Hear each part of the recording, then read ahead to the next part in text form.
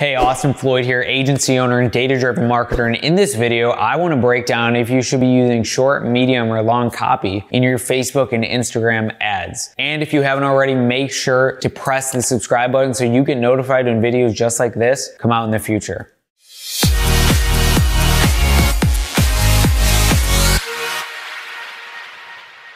So one of the things that we get a question about a lot is whether you should be using short, medium, or long copy in your Facebook ads. And I'm gonna start with the answer, which is it really varies depending on the brand. So one thing that we always like to make sure to do is to set three different types of copy to the same image at the beginning of a brand to really test how their audience responds. See, some things like drop shipping is very quick and impulse type buying. So by having a quick catchy sentence, you can often get people to the site and have them buy. On the other hand, something like an expert digital online course may require a full backstory and a really long form of copy to show the person how you got to where you are and now why you're selling the course that you are. So at the beginning, when you have any form of brand, you need to start by testing three different types of copy. So I would test one sentence and I would test emoji and no emoji because often with emoji, we find that you get a better click-through rate. Then I would test a form of medium copy and I actually test a shorter medium copy. So normally it's like one sentence that is addressing or bringing up whatever the problem is. The second sentence is solving that problem with your product. It's introducing it. Luckily, we have the solution for that. And the third sentence is the call to action.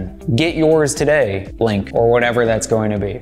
And so that's how I like to structure Medium copy. A lot of people actually write a few paragraphs or go a lot more in depth. And we'll do that sometimes with testimonials and showing a bunch of different ways that the product is perfect for the person who is looking at it. But the reality is you can test many forms of Medium copy and typically Medium is going to have the 50 to 70% of success because it is in between the short and the long. And again, the long is going to be for more drawn out stories that you really need to sell. How the person got from X to Y, why this millennial is making millions of dollars. Something like that, that is going to intrigue attention in the headline and then give them a story as to why they should be buying in the actual body and copy of the creative. So that is what you should be doing for short, medium, and long copy. Try each of them out with the same image in the same headline to really understand how your brand is working and how sophisticated your customers are, and you'll see dramatically different results. If this video helped you in any way, make sure to leave a comment below with which form of copy works for you.